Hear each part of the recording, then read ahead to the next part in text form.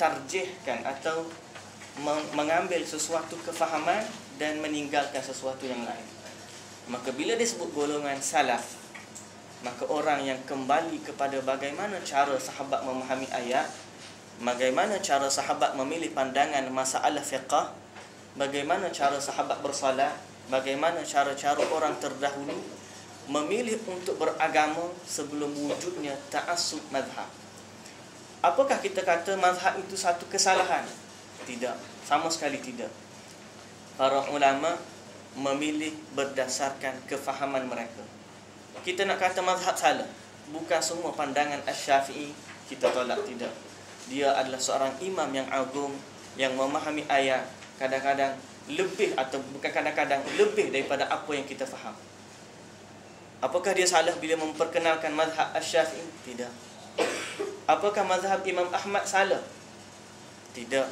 Imam Ahmad adalah seorang ulama hadis yang terkenal, tinggi, faqih, alim, imam ahlu sunnah, imam yang mempertahankan tauhid sewaktu zaman fitnah Al-Quran. Fitnah makhluknya Al-Quran. Tetapi para imam, sama-sama imam ni dia memahami bagaimana manhaj memilih. Yang menjadi masalah ialah golongan atau pengikut-pengikut yang hanya mengikut pendapat tanpa mengenali hujah. Okey, mazhab Syafi'i kata macam ni. Apa hujah kamu? Tak kira lah hujah apa pun Ini pandangan mazhab saya Jadi bila nak di, di, di, di, di, dibandingkan hujah dengan hujah Maka wujudlah Ta'asub atau Pertembungan bila mereka tidak mendatangkan hujah Semua imam kata Ida seakan-akan kata Imam Ash-Syafi'i Bila ada hadis yang sahih Maka itulah pendapat aku Macam Imam Malik kata Semua orang layak diterima dan layak ditolak Kecuali tuan kubur ini itu Nabi Muhammad sallallahu alaihi wasallam.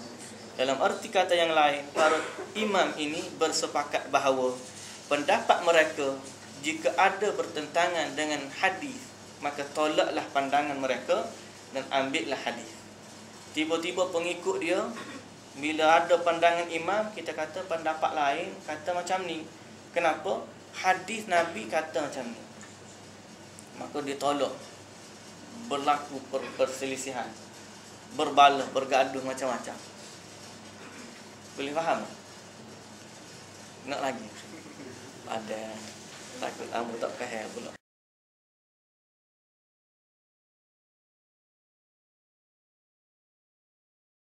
Yang bila kata uh, Yusuf Al-Qardawi Awgatullah Itu satu satu pandangan atau tohmahan yang berat. Kerana bukan setiap pandangan dia ditolak. Bahkan dia oh, dalam masalah uh, fiqh zakat banyak orang merujuk pandangan Yusuf Al-Qardawi dalam masalah zakat dia adalah seorang ulama yang juga diterima pakai pendapat dia. Cuma bila bertentangan dengan pandangan-pandangan lain maka dilihat dalam soal hujah dia kalau dia benar pada hujahnya kuat maka ambillah pendapat dia kalau dia tak benar, maka tolaklah pendapat dia. Begitulah juga berlaku pada Al-Imam Al-Albani bin Baz, Syekh Uthaymin, Ibn Uthaymin dan sebagainya. Bahkan kadang-kadang fatwa Syekh bin Baz ada yang tak sama dengan Ibn Uthaymin. Kadang-kadang fatwa bin Baz ada yang tak sama dengan Al-Albani. Dan begitulah. Para ulama dia tak sepakat dalam semua masalah. Dia ada bersepakat dalam banyak masalah dan ada berbeza pendapat dalam masalah-masalah. Jadi tidak semua bila kita kata bila datang pendapat daripada Syekh bin Baz dia adalah maksum daripada kesalahan. Kita terima semua pendapat dia. Dan bila kata datang pendapat daripada Yusuf Al-Qardawi kita tolak semua pendapat dia. Tak betul. Maka kesederhanaan kita bila kita faham tentang manhaj, manhaj itu terpakai pada semua ulama.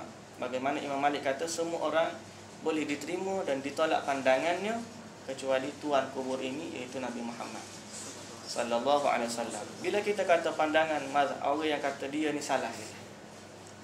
Kalau Syekh di, di Madinah sendiri pernah marah kepada golongan-golongan atau pelajar-pelajar yang terlalu ta'assub bila dengar pendapat Syekh Al-Albani seolah-olah mesti terima semua.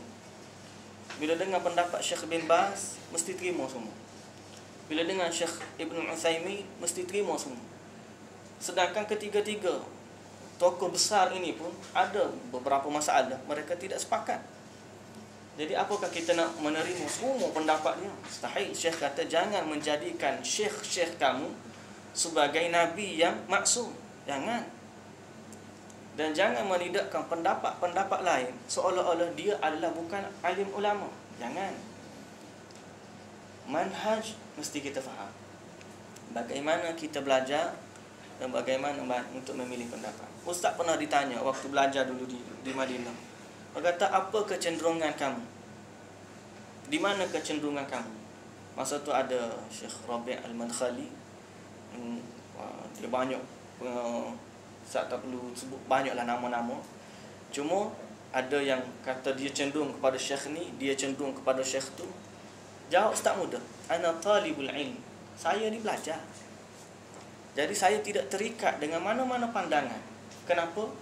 Kerana saya belajar dan diajar untuk mengikut apa yang diajar oleh Nabi sallallahu alaihi wasallam.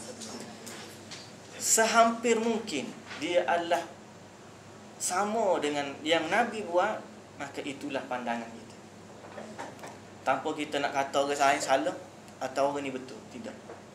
Sehampir mungkin dia adalah pendapat atau perbuatan Nabi maka ambillah dia tanpa kata-kata orang itu salah atau benar. Contoh dalam masalah fiqh contoh kita kata. Masalah fiqh. Ambil kata tepuh hari semaya tepuh tangan tepuh laki perempuan suami isteri bersentuhan suami dan isteri. Ada siapa perikat gaduh ada siapa perikat untuk rumah tangga. Hanya kerana sentuh nak wuduk dah. Suami dia setiap kali nak